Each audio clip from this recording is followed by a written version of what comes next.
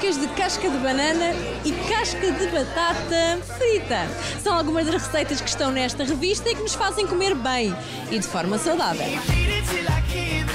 O que é que esta revista Bem Nutrir tem assim de diferente? Principalmente tem os uh, profissionais que estão uh, lá com os artigos sobre saúde, nutrição, exercício físico, terapias alternativas.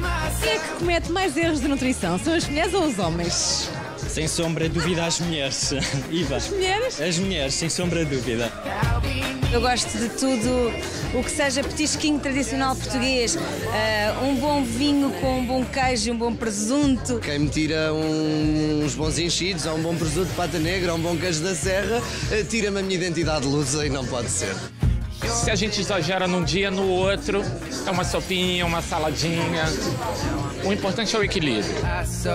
Nós podemos cometer os tais pecados, mas depois temos que saber o que fazer a seguir para eles não ficarem aqui a circular no nosso corpo. Basicamente é isso. Esta vaidade que se criou nas pessoas uh, pelo lado estético acabou por influenciar positivamente o lado da saúde. Eu não via há uns anos uh, os miúdos de 15, 16, 17 anos a preocuparem-se em comer salada para não engordar. E hoje em dia isso acontece. Pode ser um bocadinho excessivo, pode ser pelos motivos errados, mas creio que na realidade o resultado é positivo porque são bons vícios.